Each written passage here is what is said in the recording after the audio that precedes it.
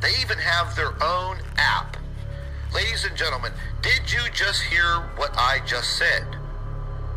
They have their own app. That's how they communicate. I have somebody on the inside that's been on the inside with these scums for the last seven months. They have their own app. You can't get it, but they have it. And that's how they communicate.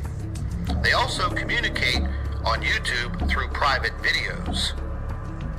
So if I give you the link to one of my private videos, therefore giving you instructions on who to attack, nobody else can see it except you.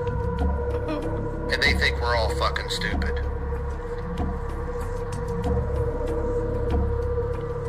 Yeah, that's right, they use Slack. Slack to communicate. I got some slack right here in my right hand for them. And it's brutal.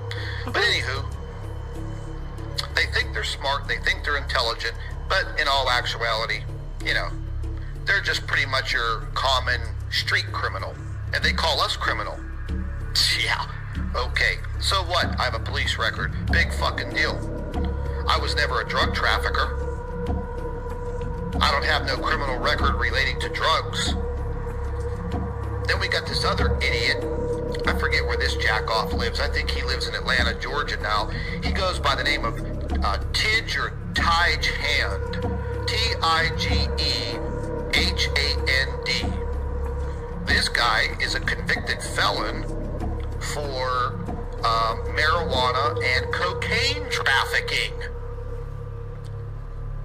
I got into it with him last year.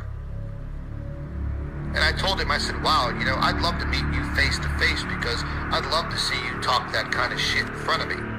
He said, oh, I'm no stranger to the system. And this dumbass sent me a, a, a screenshot of his Florida Department of Corrections